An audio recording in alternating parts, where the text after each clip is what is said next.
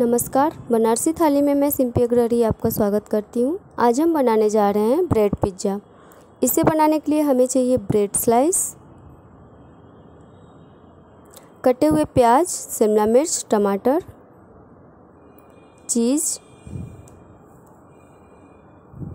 Butter, chilli flakes, काला नमक काली मिर्च, पाउडर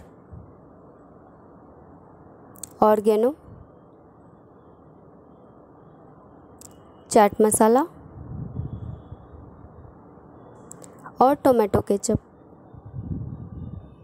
सबसे पहले हम एक बाउल में सारी कटी हुई सब्जियों को इकट्ठा कर लेते हैं।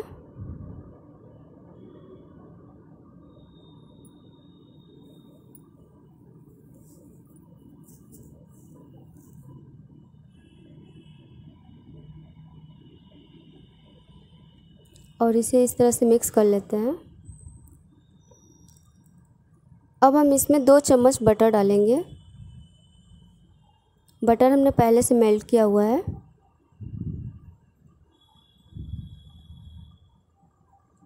अब हम इसमें एक चम्मच लगभग ऑर्गेनो डालेंगे। आधा चम्मच चिली फ्लेक्स काला नमक टेस्ट के अनुसार।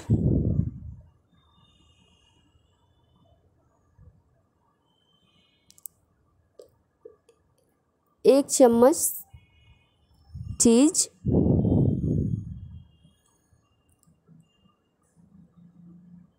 चीज़ थोड़ा और ले लेते हैं और इस तरह से कद्दूकस कर कर लेते हैं। इससे मिक्स करने में आसानी होगी।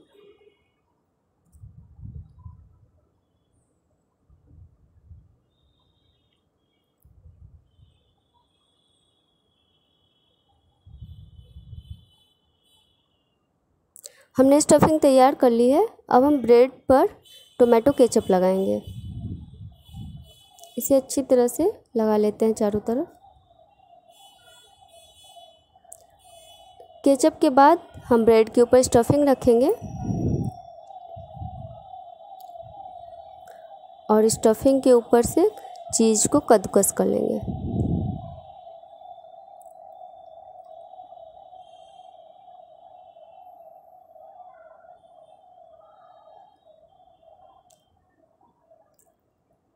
अब हम पैन गरम करते हैं और इसमें दो चम्मच बटर स्प्रेड करेंगे।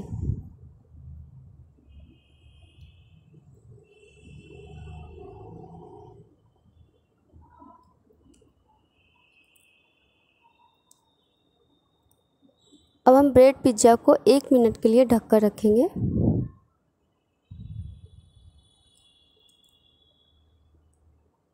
एक मिनट के बाद हम ब्रेड पिज़्ज़ा के ऊपर डालेंगे चाट मसाला पाउडर और काली मिर्च पाउडर।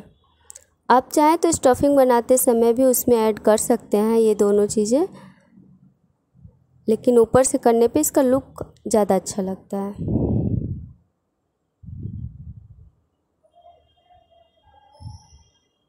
अब हम इसे दो मिनट के लिए सेक लेते हैं। दो मिनट में ये रेडी हो जाता है। अब हम इसे सर्व कर लेते हैं। अगर आपको हमारा वीडियो अच्छा लगता है तो प्लीज़ हमारे चैनल को सब्सक्राइब कीजिए, लाइक कीजिए, शेयर कीजिए। धन्यवाद।